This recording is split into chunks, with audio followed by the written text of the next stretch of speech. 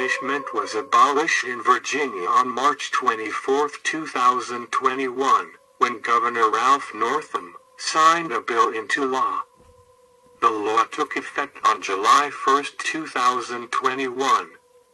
Virginia is the 23rd state to abolish the death penalty, and the first southern state in United States history to do so. The first execution in what would become the United States was carried out in Jamestown, Virginia, in 1608, when Captain George Kendall was executed in Jamestown for spying.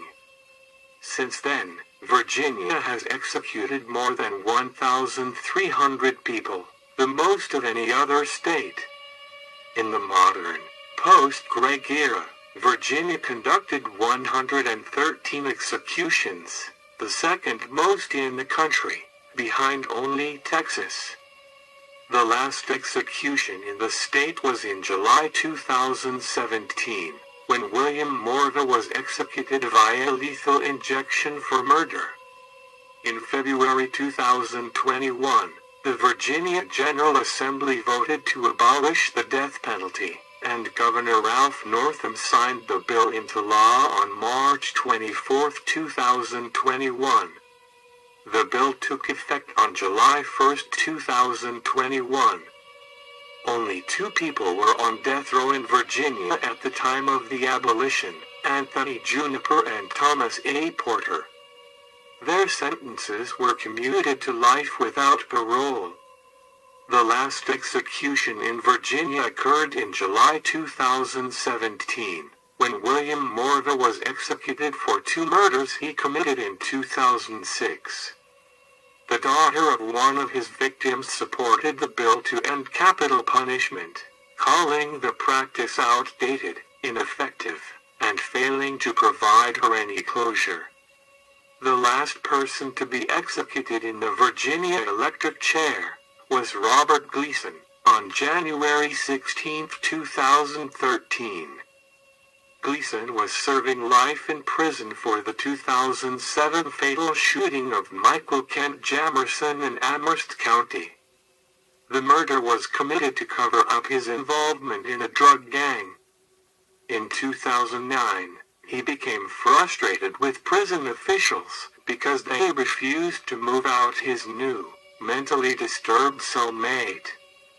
Gleason hogtied, beat and strangled 63-year-old Harvey Watson Jr., who was also serving time for murder. Gleason pled guilty.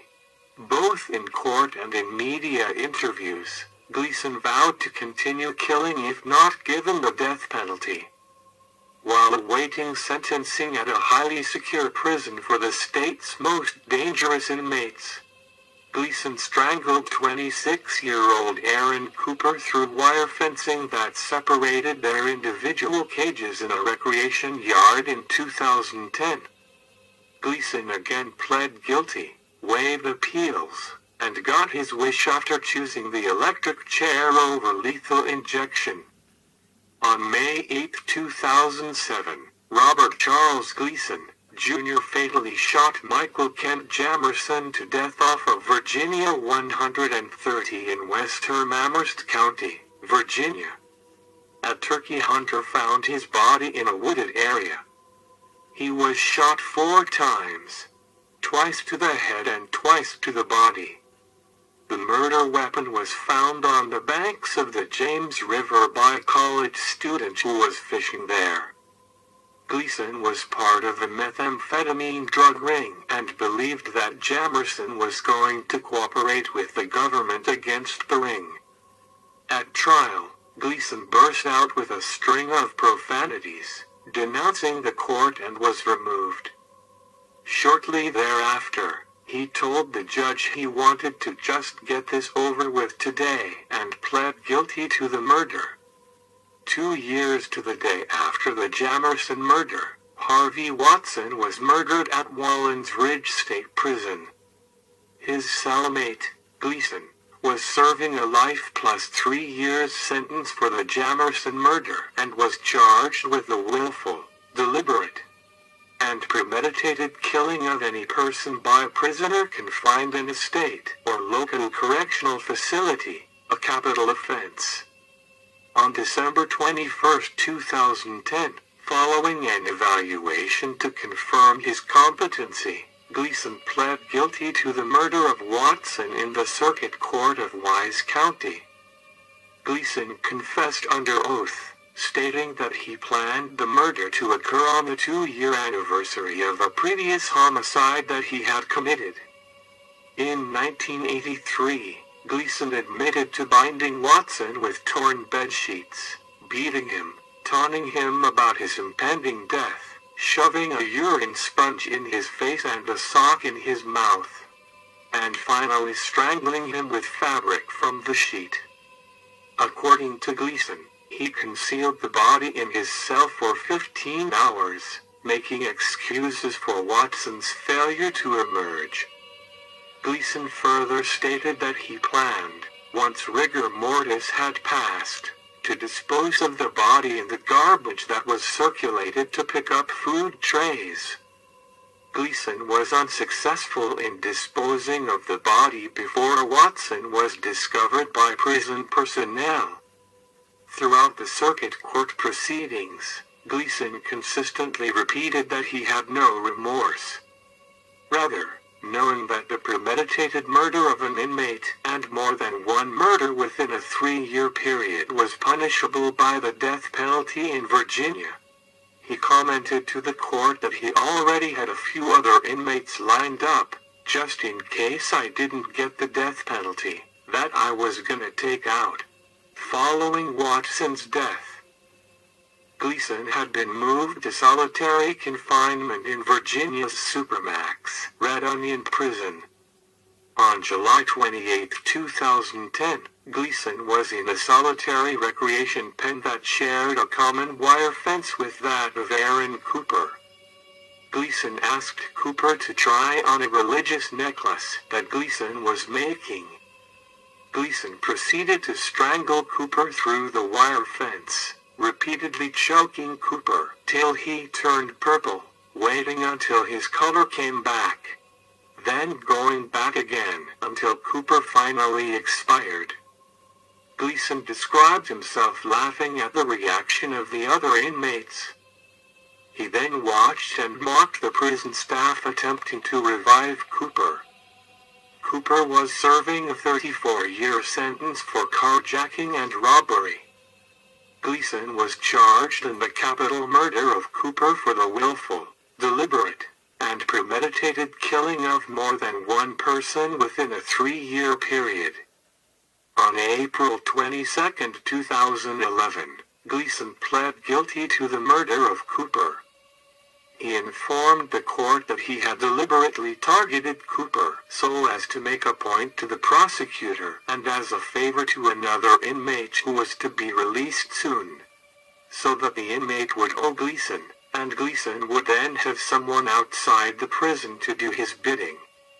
After accepting both guilty pleas, the court conducted a multi-day joint sentencing proceeding, considering evidence and argument by counsel and Gleason.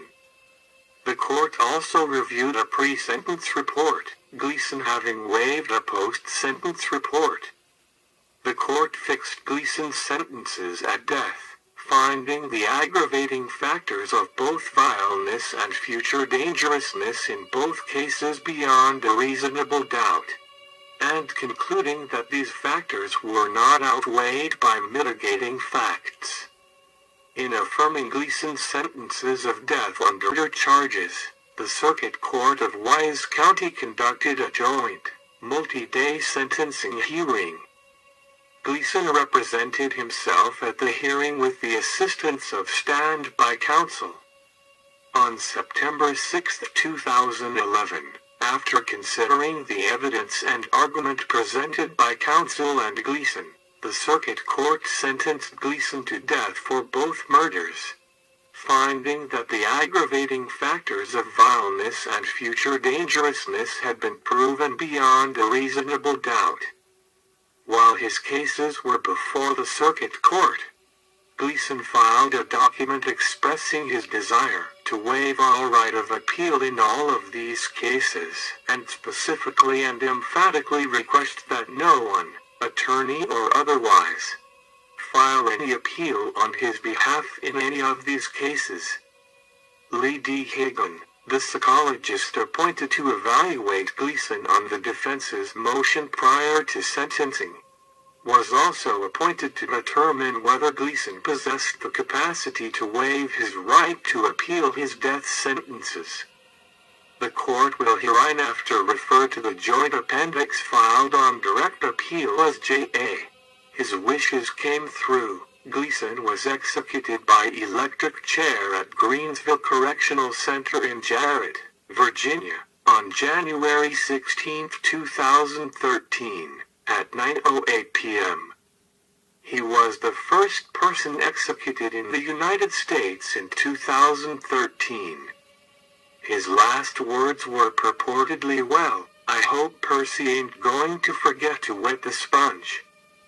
Put me on the highway to Jackson, and call my Irish buddies. Pog Mothoin. God bless.